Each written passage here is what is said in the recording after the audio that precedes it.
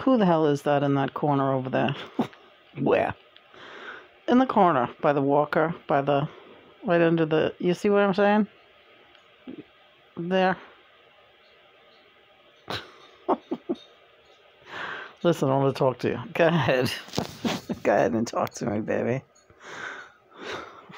What am I asking you? You're all over the fucking place in here. Yeah. Place looks like a bomb hit, doesn't it? It really looks insane. Honey, you're doing a good job. Stay off that internet. Yeah, I'm doing a good job. You're right. Mm. You're right about that. Mm. Oh, so we watched the movie. What was it called? Great Picture, Lovely Life. Yeah. Um, about a pedophile. His granddaughter wanted to tell the story of how this guy victimized uh, like everyone in his family and all of his patients. He was a chiropractor. He was like raping like you know little little children mm, and got away with it. I mean, died alone. Very very sickly guy at the end. and you know, you could say his karma was coming at him at uh, you know full speed at the end there. But he lived a long life, and. uh he never got. He never. He never. Did he go to jail briefly? Yeah. Like because one of his patients ratted him out, a child patient. This guy's just like fucking going nuts. You know, molesting and raping children. Mm-hmm. His own daughters, his own granddaughter. Uh, it was. So these people, you know, the, the girl had had uh, balls to talk about it and make a documentary about it. She was a good filmmaker. But, um, you know, this is a thing. So John said he wanted he wanted us to watch it, um, that it would have, uh, you know, a healing, uh, go toward healing. I'm yeah, I'm still healing from from my my childhood and um, the thing is, this guy could never admit he was wrong. He, but he admitted to doing it. But he kept saying, you know, I had a, you know, I did stupid things, but my life. It, uh, he had the weirdest excuses for everything he did. But see, in the case of my family, no one acts like anything. They all, they pretty much say, uh, Lynn's lying, and this didn't happen, right? you know, this guy was a criminal and everything, but at least he did admit it then. Mm. But it's like, I'm never going to have that. And, you know, I don't know. You've done a great job forgiving the unforgivable. Really, you have. The main reason I want, well, rather, I think it's a good idea to watch documentaries like the one we watched this afternoon is so that um, you could feel less alone in your experience.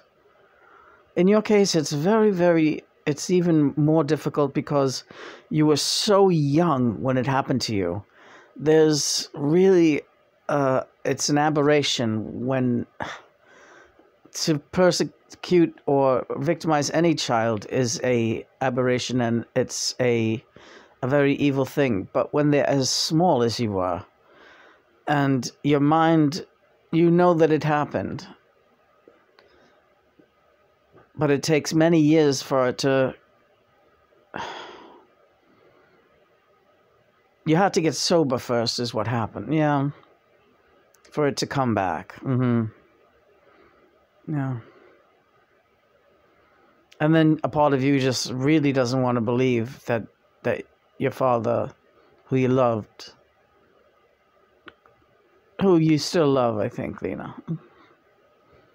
Not only that he could do that and carry on with his day to day life, but also that your mother could be aware of it, uh, even if it's only on a peripheral, in some kind of denial way, and uh, and leave leave you ever leave you alone with him, right? Right. That's the whole thing too. Never feeling protected like your whole life. And I ne- I I could be I would be like my parents will never protect me. That I know. I knew that like early on that I couldn't count on them for anything like to to help me or protect me. I always felt that really deep in my in my soul. And um uh, I don't know. I don't know how I feel after watching that documentary today. That was a hideous guy in that documentary, disgusting guy. And uh, uh, I don't know, John. Mm. Yeah. Now we'll relax for the rest of the night. We still didn't read my uh, magazine. Oh, your People mag, right? People magazine. Please. All right, we're gonna we're gonna we're gonna read People magazine right now. I didn't even know Joshua Jackson had this beautiful new girlfriend. She looks like a young Iman. I'm really missing out on the world. They're gonna want look at my hair. What is going on here, John? I can't be seen. I'm hideous. Hmm.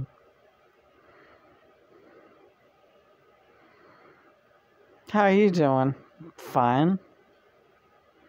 Really great. Yeah, we've we've just we've just been reposting some old memoirs. Um, we made one video this morning and really relaxed day, and again we're on the we're working into uh, internet abstinence, um, but none not not the other kind anymore. no, no. Hmm but we're spacing it out, kind of. I think, right? Oh, yeah, we it's it's spaced out, but when we when we do have sex, it feels like really it's very explosive. You you feel like you need to space it out afterwards. Like, like John used to be good for like five times in a row. I'm not kidding. Mm. I love when you brag about me. Am I bragging right now? I used to be like frightened. Again? Oh, God, Johnny, I'm not going to make it.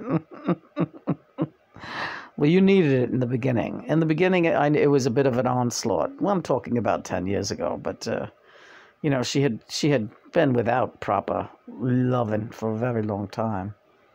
So I, I really, I, I wanted to make it up to you. Oh, you did. Those early days were insane.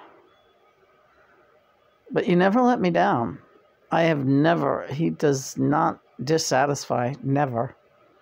Uh, you know, like, like, you know, never, yeah. Well, uh, the, I know exactly what turns you on and vice versa, so no one's going to do it for you like I can, honey. Yeah, you like talking about this, huh? Mm. Mm. Hope the home team is doing great tonight. Yeah, everyone's doing great. There's a very um, energetic uh, uh, something with with Easter season upon us and the resurrection, the resurrection. Yeah, that's what he wrote a poem, John. Rest erection, the rest rest my erection. I, I don't know. He's got such a People take you the wrong way though, because you, you're so sweet. You don't ever mean it like in a dirty way. No, what? There's nothing dirty about sex, right? Except like, the, it's guys like that, that, that, that, you know, like, you know, and what you've been through, that give it a bad name. Yeah, right. What makes certain individuals sexual predators? Like, what is that? Mm it's power, it's control over something and someone, and you know, it's uh, it's because they can, you know, and it's like a crazy ass drive that uh, that all bets are off. They just, you know, they're not gonna control themselves, and it's it's one of the most evil things in the in God's creation of mankind. It's one of the most evil things. He gave us the sexual urge and the sexual gift for a way to express love for each other. And this is what humanity has done. Hmm. How does humanity find a way every time to fuck everything up? Mm. You don't have an answer. I don't. I don't know why. It's alarming. But I, again, I feel it's very important to examine these people and their behaviors so that you feel less alone and so that you can always feel like you can talk about this, not on camera, but with me. If you ever want to, you know, go over anything again to help you, um, I've been there. You're not crazy. Your experience is real, was real. You're very small. And I'm here to help you through it still. It's not anything to be swept under the rug or to feel embarrassed about. Thank you, John.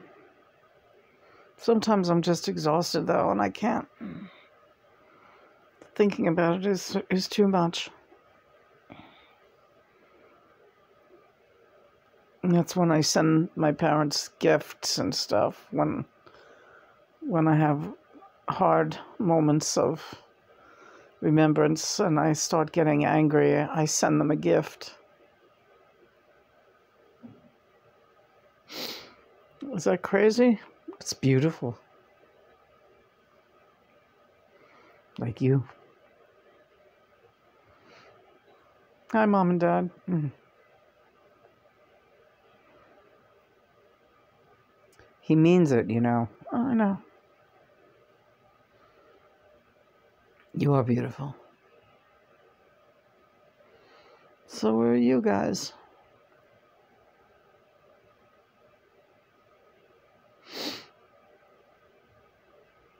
I like this angle tonight with the uh, the pillow of you in the corner is really adorable.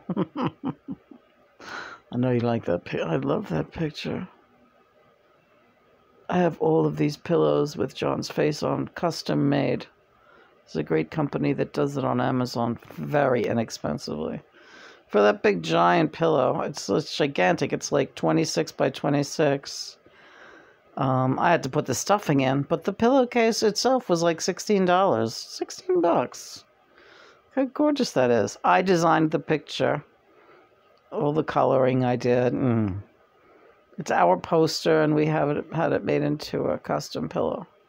If anybody wants the uh, the link to the vendor, message me. You too can have your very own John Lennon pillow. See, I'm not possessive. I'll share you. or you could make it of your own twin flame. If your twin flame is uh, Lorne Greene or uh, Dr. Smith. you could have a nice big Dr. Smith pillow made or one of the robot.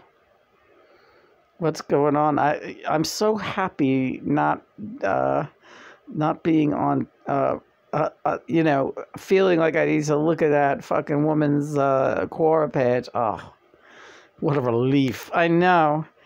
So, but we had to when we did it, we had to do it, right? But now, like, look at look at how great it feels not looking at that thing for the last five days or whatever.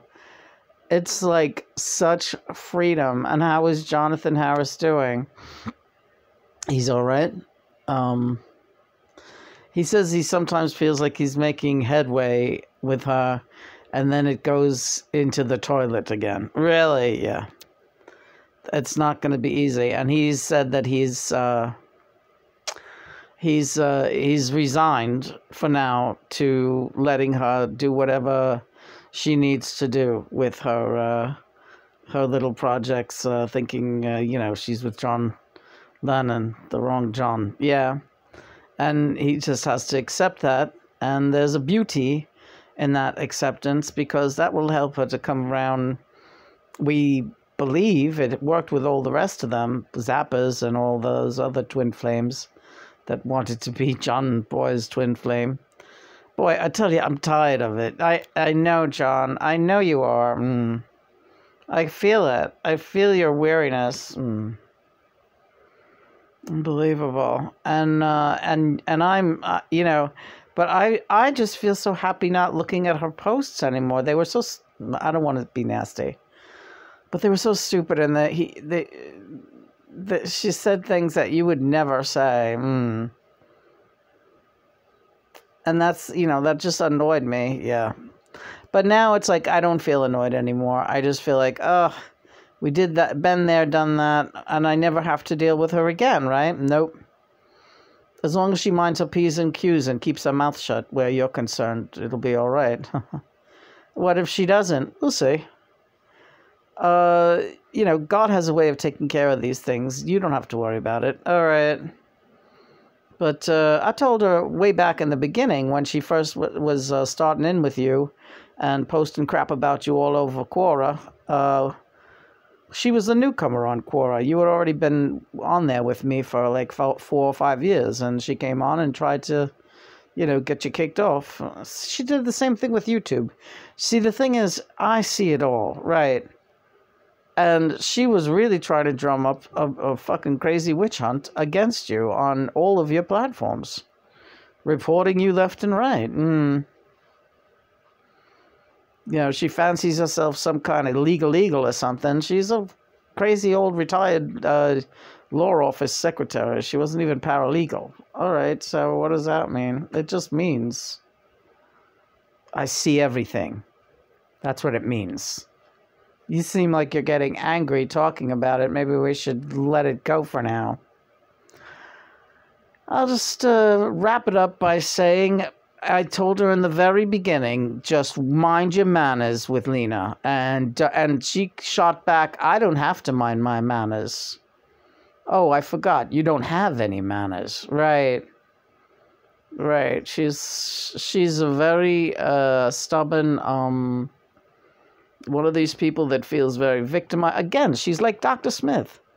If you look at Dr. Smith's behavior, right? It's ironic that she behaves like the female Dr. Smith. Argumentative, stubborn, butting into everyone else's business, misquoting, misdirecting her energy, and not helping really anyone, right? So, just mind your manners. That's all I ever ask of anybody. Mind your bloody manners, right? Be polite, and if you can't say anything nice, and shut up and move on. Doesn't resonate with you? Up, you don't agree with it? That's too bad. Get the hell out of here. And you don't need to make reports. Nobody's bothering you. Nobody cares about you. Making up stories to make yourself feel important. Keep moving. Right. That's true, John. All right. So speaking of keeping moving, are we gonna get going and read that People magazine? It's not a big magazine. Yeah. Let's go now. Let's go see what what uh, what the doodly doodle do. All right. Cock a Cockadoodle do. Cockadoodle. hey, what's that remind you of? Don't start.